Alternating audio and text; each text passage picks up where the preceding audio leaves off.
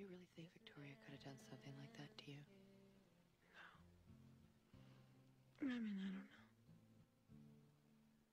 I think I needed somebody to blame. I wish you would have told me.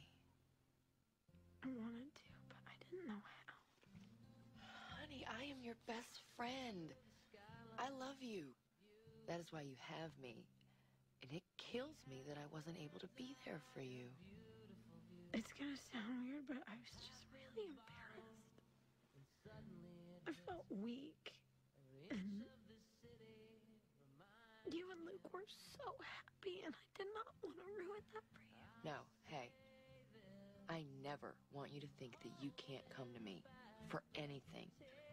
I'm here for you forever.